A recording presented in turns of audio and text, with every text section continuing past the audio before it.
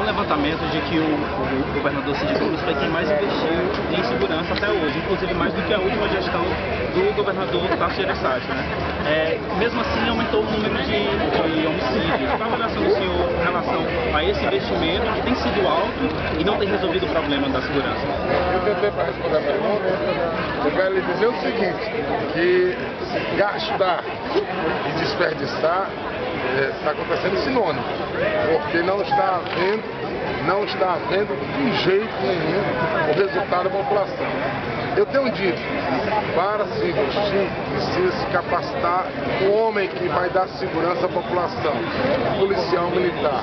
Não é só comprar carros bons, equipamentos bons, se você não tem a solidariedade, não tem a parceria do servidor, não tem a solidariedade, não tem a parceria do policial. Então, estamos vendo aqui é um desperdício. Está é, sem comando aqui a Polícia do Estado de Ceará.